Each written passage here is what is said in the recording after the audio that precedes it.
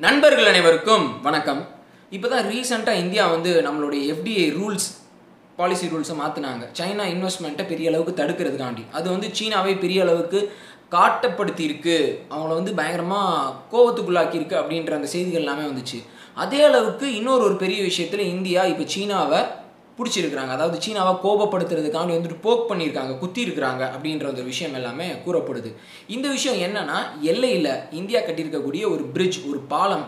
இந்த விஷயம் ஒரு பாலம் கட்டினதுக்கு வந்து சைனா இவ்வளோ கோவப்படுவாங்களா? அதாவது ஏன் இந்த விஷயத்த வந்து எல்லாருமே இவ்வளோ இம்பார்ட்டண்ட்டாக பார்க்குறாங்க அப்படின்னா அந்த பாலம் இந்தியா கட்டியிருக்கக்கூடிய லொக்கேஷன் அதாவது எப்போ டவாங் ட்ராக்டில் அதாவது நைன்டீன் சிக்ஸ்டி டூ வாரில் சைனா இந்தியாவுக்குள்ளே வந்தாங்கல்ல ஒரு வழியில் அந்த பாதையில். அந்த முக்கியமான ஸ்ட்ராட்டஜிக் லொக்கேஷனில் இந்தியா ஒரு பிரிட்ஜ் கட்டியிருக்கிறாங்க. இந்த ரீஜியன் வந்து டோக்லாம் பிளாட்டூக்கும் ரொம்ப பக்கத்தில். சைனா இன்க்ரூஷன்ஸ் சைனீஸ் இன்க்ரூஷன்ஸ் சீனா வந்து எந்த இடம் வழியாக அதிகமாக ஊடுருவுறாங்களோ அந்த பகுதியில் தான் இந்த பிரிட்ஜ் இருக்குது ஸோ இது நாள் வரைக்கும் அந்த இடத்துல பெரிய அளவில் மொபைல் ஃபோர்ஸஸை ஃபுட் சோல்ஜர்ஸை கொண்டு போகிறது கஷ்டமாக இருந்த ஒரு பகுதிக்கு இப்போ நாற்பது டன் எடைகளை தாங்கக்கூடிய ஒரு நல்ல ஒரு சாலிட் பிரிட்ஜ் போட்டதை வந்து ஒரு பெரிய விஷயமா பார்க்குறாங்க அதுவும் இது சீனாவை இன்னும் பயங்கரமாக காட்டப்படுத்தும் அப்படின்ற அந்த ஒரு விஷயத்தையும் வந்து சொல்கிறாங்க ஸோ அதுதான் இந்த வீடியோவில் நான் பேச போகிற ஒரு முக்கியமான விஷயம். ஸோ இதுக்கு நம்ம இன்னும் கொஞ்சம் பின்னாடி போய் ஹிஸ்ட்ரி போய் நம்ம பார்க்கணும். என்னன்னா என்ன அந்த முக்கியமான இடம் எதுக்கு வந்து அந்த இடத்துல ரோடு போட்டதை வந்து சைனாவை அவ்வளோ கோவப்படுத்தும் அப்படின்ற அந்த ஒரு விஷயத்தை நம்ம பார்க்கணும். அதுக்கு திபெத் அப்புறம் வந்து அருணாச்சல் பிரதேஷை ஏன் வந்து சைனா கிளைம் பண்ணுறாங்க அந்த ஹிஸ்ட்ரி எல்லாம் நம்ம போகணும். ஃபர்ஸ்ட் ஆஃப் ஆல் இந்த பிரச்சனை எங்கே ஸ்டார்ட் ஆகுதுன்னா திபெத்தை வந்து சைனா கிளைம் பண்ணுறாங்க சைனாவினுடைய ஒரு ஒருங்கிணைந்த பகுதி அப்படின்னு சொல்லிட்டு.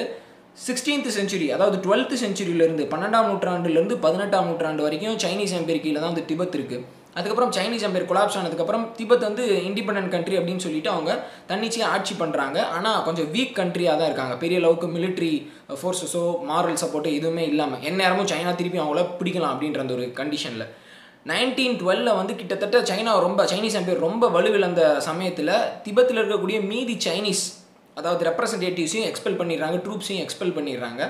இந்த சமயத்தில் பிரிட்டிஷ்க்கு வந்து ஒரு விஷயம் என்னென்னா நம்மளுடைய எல்லை அதாவது திபெத்தை வந்து ஒரு தனி கண்ட்ரியாக ரெக்கக்னைஸ் பண்ணிக்கிறாங்க. ஒரு தனி எல்லையை வந்து நம்ம திபெத்தோட நார்த் வெஸ்ட் நார்த் ஈஸ்டர்ன் ரீஜனில் நம்ம ஃபார்ம் பண்ணணும் அப்படின்னு சொல்லிட்டு நைன்டீன் ஃபோர்டீனில் சிம்லா கன்வென்ஷன் அப்படின்ற ஒன்றை வந்து கன்வீன் பண்ணுறாங்க அதில் வந்து இந்தியா அதாவது பிரிட்டிஷ் ரெப்ரசன்டேட்டிவ்ஸ் அப்புறம் திபெத் ரெப்ரசன்டேட்டிவ்ஸ் அப்புறம் சைனீஸ் ரெப்ரசன்டேட்டிவ்ஸும் வந்தாங்கன்னு சொல்கிறாங்க நிறைய பேர் சைனீஸ் ரெப்ரசன்டேட்டிவ்ஸ் அதில் பார்ட்டிசிபேட் பண்ணல அப்படின்னு சொல்கிறாங்க ஸோ இவங்க மூணு பேர் சேர்ந்து இந்த சிம்லா கன்வென்ஷனில் மக்மோகன் லைன் அப்படின்ற ஒன்று ட்ரா பண்ணுறாங்க அந்த மக்மோகன் லைனுக்கு கீழே இருக்கிறது தவாங் ட்ராக்ட் அருணாச்சல் பிரதேஷில் இருக்கக்கூடிய தவாங் ட்ராக்ட் ஸோ இந்த டவாங் ட்ராக்ட் வந்து இந்தியாவுக்கு சொந்தம் அப்படின்னு சொல்லிட்டு நைன்டீன் ஃபோர்டீன் சிம்லா கன்வென்ஷனில் கூறப்பட்டிருது. ஆனால் சைனா என்ன கிளைம் பண்ணுறாங்கன்னா திபத்தே வந்து எங்களுடைய எங்களுக்கு சொந்தமான ஒரு கண்ட்ரி தான். திபெத் வந்து தனி நாடாக போனதே நாங்கள் ரெகக்னைஸ் பண்ணல. அப்போ வந்து திபத் வந்து நைன்டீன் ஃபோர்டீனில் கொண்டு வந்திருக்கக்கூடிய அந்த சிம்லா கன்வென்ஷன் அவங்க அக்செப்ட் பண்ணிக்கிட்டது நாங்கள் அக்செப்ட் பண்ணிக்கிட்டது ஆகாது அப்படின்னு வந்து சைனா சொல்கிறாங்க ஏன்னா சைனா நைன்டீன் ஃபிஃப்டியில் திபத்தை ஆக்குப்பை பண்ணிடுறாங்க. சரிங்களா? அப்போ என்ன சொல்கிறாங்க இந்த மக்மோகன் லைன் அப்படின்றது ஏற்றுக்க முடியாது. இது வந்து திபெத்தை இது வந்து திபெத் ரெக்கக்னைஸ் பண்ணிக்கிட்டது. இது வந்து சைனா மெயின்லேண்ட் சைனா வந்து நாங்கள் வந்து ரெக்கக்னைஸ் பண்ணல. ஏன் சைனா வந்து அதை ரெக்கக்னைஸ் பண்ணலைன்னா அந்த தவாங் ட்ராக்ட் இருக்குல்ல தவாங் மொனாஸ்ட்ரி அப்படின்னு சொல்லுவாங்க புத்திஸ்ட் டெம்பிள் ஸோ அது வந்து அந்த அருணாச்சல் பிரதேஷில் அந்த இடத்துல தான் இருக்குது முக்கியமான திபெத்தியன் புத்திஸ்ட் சைட் அது. ஒரு பெரிய வழிபாட்டு தளம் ஸோ அந்த இடத்த வந்து அது வந்து காலம் காலமாக வந்துட்டு அது திபத்தோட தான் ஒரு ஒருங்கிணைந்த பகுதியாக இருந்து வந்திருக்கு. அது எப்படி வந்து அருணாச்சல் பிரதேசம்னு சொல்லிட்டு இந்தியாவோட ஒரு பகுதிக்கு போகும். ஸோ திபத்து எங்களோட பகுதின்றப்போ திபத்தில் ஒரு பகுதியான டவாங் ட்ராக் அப்படின்றது எங்களுக்கு தான் சொந்தம் அப்படின்ற அந்த கிளைம் தான். சைனா வைக்கிறாங்க. ஸோ இதுக்கு இன்னொரு முக்கியமான காரணமும் என்ன அப்படின்னு கேட்டுக்கிட்டிங்கன்னா திபெத்தியன் புத்திசம் அதாவது தலாய் லாமா ஃபிஃப்த் தலாய் லாமாவால் செவன்டீன்த் செஞ்சுரியினுடைய அந்த கடைசி சமயத்தில் தொடங்கப்பட்டது தான் இந்த தவாங் மொனாஸ்ட்ரி ஸோ அதனால் இப்போ சைனாவை இன்டெரக்டாக வந்து நம்ம திபெத்தியன் இஷ்யூஸ் வச்சு திபெத் இஷ்யூஸ்க்கு வச்சு வந்து நம்ம பிரச்சனை பண்ணணும்னு நினச்சா இந்த தவாங் மொனாஸ்ட்ரியே எங்ககிட்ட தான் இருக்குது அப்படின்றத வச்சு சைனாவை வந்து நிறைய இன்டெரக்டாக அந்த விஷயத்தை வந்து கிளப்பலாம். ஸோ அதனால தவாங் மொனாஸ்ட்ரி இந்தியா கிட்ட இருக்குது டவாங் ட்ராக்ட் ஆஃப் அருணாச்சல் பிரதேஷில் இருக்குது அப்படின்றது தான் சைனாவுக்கு ஒரு பெரிய இதே பிரச்சனையே. அதாவது இந்த இடத்த வந்து நம்ம எப்படியாவது நம்மளுடைய சேர்த்துக்கணும் அப்படின்ற அந்த ஒரு விஷயமே. ஸோ அதனால் சைனா வந்து இதை ரெக்கக்னைஸ் பண்ணதே கிடையாது. அதுதான் இந்த விஷயம் எல்லாமே இப்படி போயிட்டு இருக்கு. ஸோ நைன்டீன் சிக்ஸ்டி டூவில் நடந்த இண்டோ சைனா வாரில் வந்து இந்த தவாங் ட்ராக்டை ஆக்குபை பண்ணிட்டாங்க. சைனா ஆக்குபை பண்ணிட்டாங்க. தவாங் மோனாஸ்ட்ரி இந்த முக்கியமான பகுதி எல்லாத்தையுமே பிடிச்சிட்டாங்க. அப்போ வந்து இந்த பிரிட்ஜ் போட்டிருக்காங்கல்ல இந்த இடம் இந்த வழி வழியாக தான் பெரிய ட்ரூப்ஸ் வந்து அவங்களுடைய ட்ரூப்ஸ் வந்துட்டு உள்ளே நுழைஞ்சு வந்தது.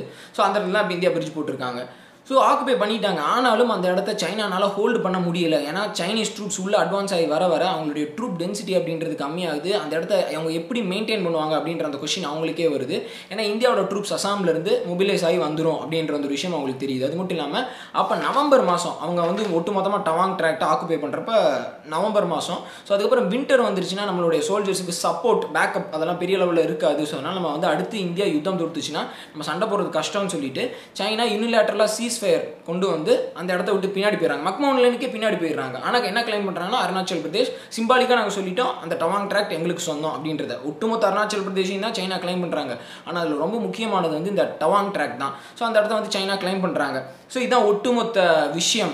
இப்போ இந்த இடத்துல இந்த ரிகார்டிங் இந்த நார்த் ஈஸ்ட் அருணாச்சல் பிரதேஷ் இந்த பகுதியில் வந்து நிகழ்ந்தது. இந்தியா என்ன சொல்கிறாங்கன்னா இந்த டவாங் ட்ராக்லேருந்து அருணாச்சல் பிரதேஷ் இது எல்லாமே ஒட்டுமொத்தமாக நிறைய ட்ரைபல் கம்யூனிட்டிஸ் நார்த் ஈஸ்ட் பகுதியை சேர்ந்த அதாவது அசாம் இன்னும் நார்த் ஈஸ்ட்டில் இருக்கக்கூடிய மித்த பகுதியில் இருக்கக்கூடியவங்களாம் பூட்டானிஸ் அப்புறம் வந்து சிக்கிமிஸ். ஸோ இந்த மாதிரி நிறையா இனத்து இன நிறைய ட்ரைபல் பீப்புள்ஸ் வந்து அந்த இடத்துல வாழ்கிற ஒரு பகுதி.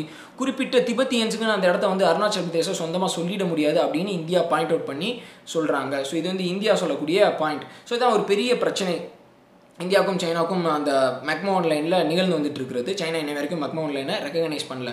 இப்போ இந்தியா ரீசெண்டாக இப்போ என்ன பண்ணி வந்துட்டு இருக்கிறாங்கன்னா கிட்டத்தட்ட அந்த பார்டர் அதாவது மெக்மோன் ஆன்லைன் கிட்ட ஒட்டி இருக்க எல்லா இடத்துலையுமே வந்து பார்டர் இன்ஃப்ராஸ்ட்ரக்சர் வந்து பெரிய அளவுக்கு கொண்டு போயிட்டு இருக்காங்க ஏன்னா நைன்டீன் சிக்ஸ்டி டூவில் வந்து நம்மளுக்கு அந்த இடத்துல பார்டர் ஃபெசிலிட்டிஸ் அதாவது பார்டர் ரோட்ஸ் வந்துட்டு நம்மளுக்கு பெரிய லெவலில் அந்த அந்த டயத்தில் நம்மளுக்கு இன்ஃப்ராஸ்ட்ரக்சர் ஹெல்ப் பண்ணல. ஸோ அதனால தான் அந்த யுத்தத்தில் வந்து நம்மளால் ட்ரூப்ஸை பெரிய அளவுக்கு மொபிலைஸ் பண்ண முடியலை. ஸோ இப்போ கிட்டத்தட்ட இருபது ரோடை நெக்ஸ்ட் இயர்க்குள்ளே கன்ஸ்ட்ரக்ட் பண்ணி முடிச்சிருவாங்க அப்படின்ற அந்த விஷயத்தை வந்து பார்டர் ரோட்ஸ் ஆர்கனைசேஷன் சொல்லியிருக்காங்க. எழுபத்தி நாலு ஸ்ட்ராட்டஜிக் ரோட்ஸ் இப்போ ஆல்ரெடி ஈஸ்டர்ன் பார்டரில் கம்ப்ளீட் பண்ணிட்டாங்க. இப்போ நரேந்திர மோடி கவர்மெண்ட் வந்து பார்டர் இன்ஃப்ராஸ்ட்ரக்சரை பெரிய அளவுக்கு ரேம்ப் அப் பண்ணி வந்துட்டு இருக்கதா சொல்லி வந்துட்டு இருக்காங்க ஸோ இது வந்து இப்போதைக்கு நடந்திருக்கிற விஷயம். ஸோ இதனால இது மட்டும் இல்லாமல் கிட்டத்தட்ட நூற்றி இருபத்தஞ்சு பிரிட்ஜ் கன்ஸ்ட்ரக்ட் பண்ணியிருக்கிறாங்க பார்டர்ஸில் சைனாவோட நம்ம ஷேர் பண்ணிட்டு இருக்க பார்டர்ஸில் இரநூறு பிரிட்ஜ் இன்னும் கன்ஸ்ட்ரக்ட் பண்ண போகிறதா வந்து சொல்லியிருக்கிறாங்க. ஸோ இதெல்லாமே லடாக் அப்புறம் வந்துட்டு உத்தரகாண்ட் இந்த பகுதிகளையும் வந்துட்டு இன்க்ளூட் ஆகும். ஸோ இவ்வளோ ரேம்ப் அப் பண்ணி இந்தியா இந்த விஷயங்களை வந்து செய்து வந்துட்டு இருக்காங்க. இப்போ ரீசெண்டாக கிட்டத்தட்ட எழுபத்தி ஐந்து சதவீத பார்டர் ரோட்ஸ் ஒர்க்கை கம்ப்ளீட் பண்ணிட்டதா பார்டர் ரோட்ஸ் ஆர்கனைசேஷன் வந்து சொல்லியிருக்கிறாங்க. ஸோ இது எல்லாமே சீனாவை பெரிய லெவலுக்கு காட்டப்படுத்துறக்கூடிய ஒரு விஷயம் அப்படின்றதான் இவங்க திருப்பி திருப்பி வலியுறுத்துகிற ஒரு செய்தி. இன்னும் கூடிய சீக்கிரம் ஏகப்பட்ட விஷயங்களை பண்ணியாச்சுன்னா பார்டருக்கு நம்மளுடைய ட்ரூப்ஸை ஈஸியாக மொபிலைஸ் பண்ணி போகலாம் அப்படின்ற ஒரு விஷயத்த சொல்கிறாங்க அப்போ நைன்டீன் சிக்ஸ்டி டூவில் இருந்ததோட நம்மளுக்கு இப்போ ஒரு பெரிய அட்வான்டேஜ் பார்டரில் இருக்கும் அப்படின்னு வந்து சொல்கிறாங்க அதனால தான் டூ தௌசண்ட் அண்ட் செவன்டீனில் டோக்லம் ஸ்டாண்ட் ஆஃப் நடந்தப்போ கூட சைனா வந்துட்டு பெரிய அளவுக்கு டிசிஷன் எதுனாலுமே எடுக்க முடியல. ஏன்னா டெரைன் வந்து இந்தியாவுக்கு பெரிய லெவலுக்கு அட்வான்டேஜாக இருக்குது அப்படின்ற அந்த ஒரு காரணம் தான் ஸோ இதான் இந்த வீடியோவில் வந்து நான் முக்கியமாக சொல்லணும்னு நினச்ச ஒரு விஷயம். ஒன்று வந்து வரலாறு. திபத்துக்கும் சைனாவுக்கும் இந்தியாவுக்கும் இடையில் இருக்கக்கூடிய அந்த ஒரு விஷயம். அதுக்கடுத்து பார்த்துக்கிட்டிங்கன்னா இப்போ இந்தியா வந்து பார்டர் ரோட்ஸில் எந்த அளவுக்கு அதிகமாக அதிகப்படுத்தி வந்துட்டு இருக்காங்க அப்படின்ற ரெண்டாவது விஷயம். அதுக்கடுத்து இப்போ இந்தியா பண்ணியிருக்க இந்த விஷயம் வந்து ஓவராலாக சைனாவை எந்த அளவுக்கு கோவப்படுத்தும் அப்படின்ற ஒரு விஷயம் தான். ஆனால் சைனா ஏற்கனவே நான் சொன்னேன் சைனா வந்து ஒரு செட்டில்மெண்ட்டுக்கு வந்துட்டாங்க. என்னென்னா நீங்கள் அக்ஸை சீன் பகுதியை வந்து எங்களுக்கு உண்டானது அப்படின்னு சொல்லிட்டு ஏது ஒத்துக்குங்க. அதாவது லடாக் பகுதியை ஃபுல்லாக வந்து எங்களுக்கு சைனாவுக்கு உரித்தான ஒரு பகுதின்னு சொல்லி நீங்கள் ஏற்றுக்கோங்க டவாங் ட்ராக்ல நாங்கள் வந்து காம்ப்ரமைஸ் பண்ணுறோம் அதே நேரத்தில் சவுத் சைனா சி இஷ்யூலையும் வந்து நீங்கள் வந்து சைனாவுக்கு சப்போர்ட் பண்ணணும் அப்படின்ற லெவலுக்கு சைனா வந்துட்டு தான் கூறப்படுது. ஆனால் இது எதுக்குமே இந்தியா வந்து காம்ப்ரமைஸ் பண்ணிக்கிற பொசிஷனில் வந்துட்டு இல்லை. அதனால் கூடிய சீக்கிரம் வந்து அருணாச்சல் பிரதேச பெரிய அளவுக்கு வந்து இன்ஃப்ராஸ்ட்ரக்சரை டெவலப் பண்ணுவாங்க அப்படின்றத நம்ம எக்ஸ்பெக்ட் பண்ணலாம். ஸோ இதை இந்த வீடியோவில் உங்கள்கிட்ட நான் சொல்லும் நினச்ச ஒரு விஷயம். ஸோ கண்டிப்பாக இப்போ இந்த முடி முடிவு எடுத்துருக்கிறது அப்படின்றது ஒரு பெரிய விஷயம் தான் ஸோ இதை இந்த வீடியோவில் நான் உங்கள்ட்ட திருப்பி சொல்கிறேன் சொல்லணும்னு நினச்ச விஷயம். இந்த வீடியோ பிடிச்சிருந்துச்சுன்னா உங்கள் ஃப்ரெண்ட்ஸ்கிட்ட ஷேர் பண்ணுங்கள் கண்டிப்பாக ஃபியூச்சரில் சைனாவை கவுண்டர் பண்ணுற அளவுக்கு நம்ம இன்னும் ஏகப்பட்ட விஷயங்கள் எடுப்போம் அப்படின்றத இந்த வீடியோ வாயிலாக நான் உங்கள்கிட்ட சொல்லிக்கிறேன். என்னோட சோஷியல் மீடியா லிங்க்ஸ் டிஸ்கிரிப்ஷன்லேயும் கமெண்ட் செக்ஷன்லேயும் இருக்குது ஃபாலோ பண்ணுங்கள் வீடியோ உங்கள் ஃப்ரெண்ட்ஸ்ட்டு ஷேர் பண்ணுங்கள் நாளைக்கு வேறு ஒரு வீடியோவில் பார்க்கலாம். ஜெய்ஹிந்த்